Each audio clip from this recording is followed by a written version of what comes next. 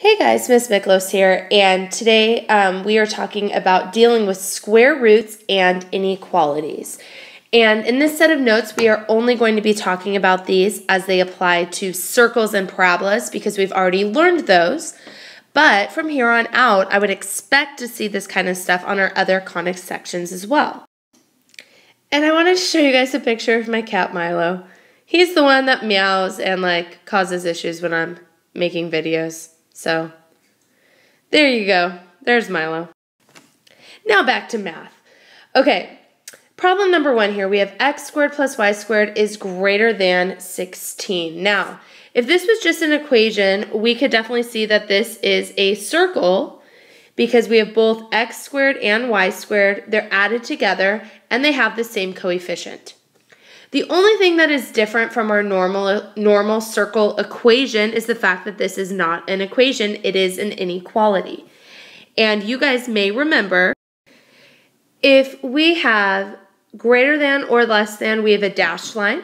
If we have greater than or equal to or less than or equal to, then we have a solid line. And we really did this all the way back in chapter 2 when we were learning how to graph. The other thing, whenever I have an inequality, I know I need to shade all my solutions. And something is a solution if it makes a true statement. So we're going to go back and we're actually going to graph this exactly how we normally would. We know the two characteristics we need to find are the center and the radius. Our center would be 0, 0 because I don't have anything in the parenthesis with the x or with the y. My radius is the square root of 16, which would be 4. So I'm going to start at 0, 0, and I'm going to go out 4 in all directions. And I need to determine at this point, should my circle be solid or dashed? And since I have this inequality that is not equal to, I know that my circle is going to be dashed. So there we go. It's a lovely circle.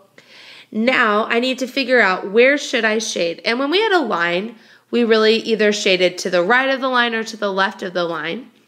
If I have a circle, my two options are either inside the circle or outside the circle.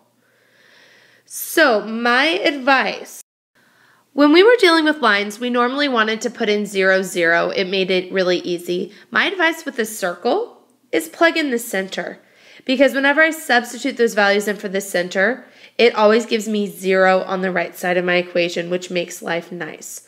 So 0 squared plus 0 squared is greater than 16. Is 0 greater than 16? And obviously we know, no, it's not. So what that means is that our solutions in here are not solutions at all. Okay, I should say these points in here are not solutions. Everything outside this circle makes a true statement. So I'm going to go ahead and shade everything outside the circle. Okay, and I think this is pretty evident where our solutions are going to be. Now, if I really wanted to make sure, I could choose one of these ordered pairs like 5, 0, substitute it in, and it will make a true statement. Okay, so major things. I'm graphing this identically to what we did previously in this chapter.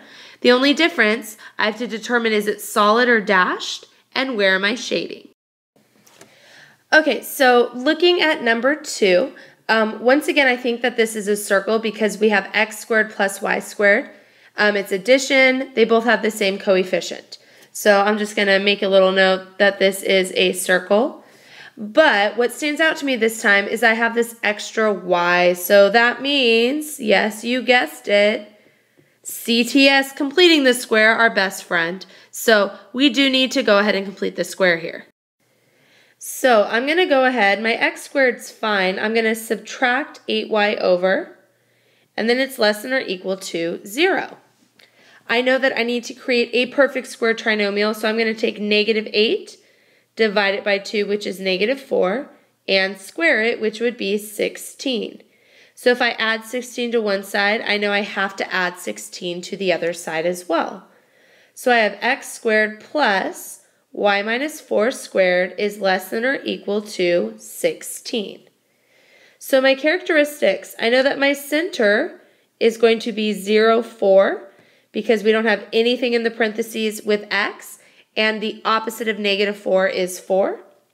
My radius, once again, is 4 because the square root of 16 is 4. So I'm going to go 0, 4, and then I need to go out 4 in all directions.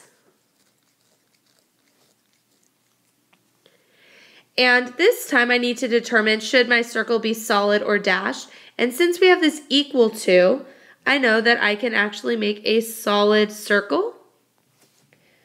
Now I need to determine where am I going to shade. So I'm going to try 0, 4, and I'm actually going to substitute it into this correct form because I think it's going to make it easier. So I have 0 squared plus, I don't know why I wrote y, because instead of y, I'm putting 4 minus 4 squared is less than or equal to 16. Is 0 less than or equal to 16? And we know that the answer to that is definitely yes. So that means that I am shading inside our circle. There we go. So inequalities, the only differences we need to determine is it solid or dashed, and where are we going to shade. Square roots actually make us think a little bit. Okay, so with square roots, we have four different options. We're either going to have y equals and either a positive square root or a negative square root, or we're going to have x equals either a positive square root or a negative square root. So this is something that we need to memorize. However, we can kind of use some logic to help us out. When I see y, I think y-axis, which is up and down. Normally, a y that is positive tells me, well, that's a giant pen, that um, I'm going to be dealing with the top. Okay, so that means that I'm going to actually graph the top half. If y equals a negative square root, that means I am graphing the bottom half. If x, I know x-axis goes right and left, so if x equals a positive square root, I'm graphing to the right. If x equals a negative square root, I am graphing to the left. Okay, so for me, I think often it's easier to actually just think about it than straight up memorize stuff. But regardless of how we learn, we need to know these four things. So if I look at number three, I want to point out when we have a square root, it's very difficult for me to tell right away what type of conic section this is. So I'm going to wait until I isolate, or I should say until I get rid of my radical before I determine what it is. The one thing I noticed though, I have y equals a positive square root, which means I'm graphing the top half. And I'm making this really obvious to myself because sometimes it's easy to just blank out and go through the motions. Okay, make it obvious you're graphing the top half because that will affect what our overall answer looks like. So we need to kind of think back to things we know. And I know in order to isolate, or not isolate, I keep saying that tonight.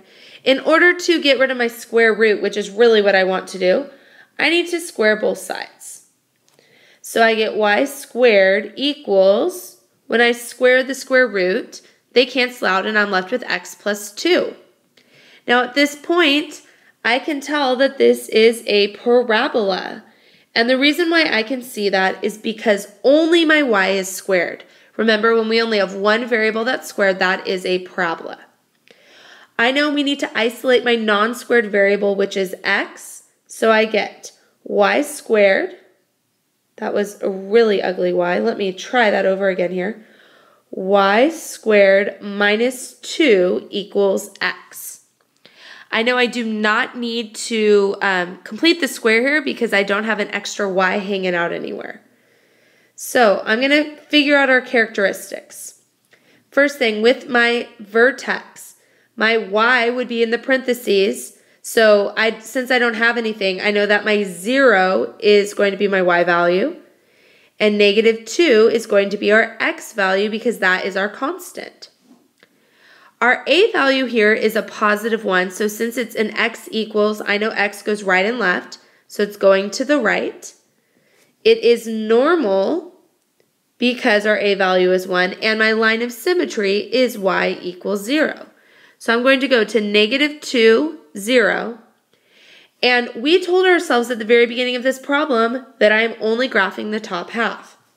So I'm just going to go up 1 and over 1 and only draw the top half of my parabola.